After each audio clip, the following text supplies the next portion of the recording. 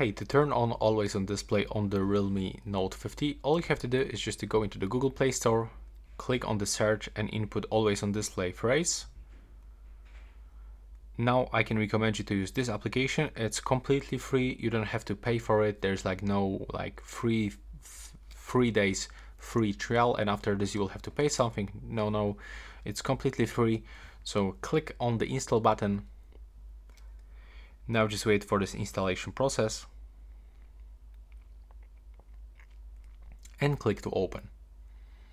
Now tap to let's go, click to allow now.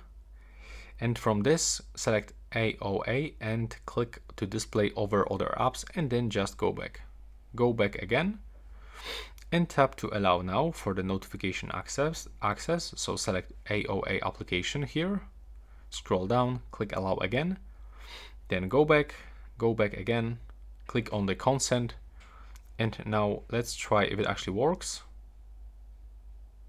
let's do this one more time as you can see now we can find always in display um, this notification is only visible for the first time until you lock your screen but now when I do this for the second time it won't appears. And now as you can see, we can find the always on display on our Realme Note 50. So that's all for this video. Right now, please subscribe.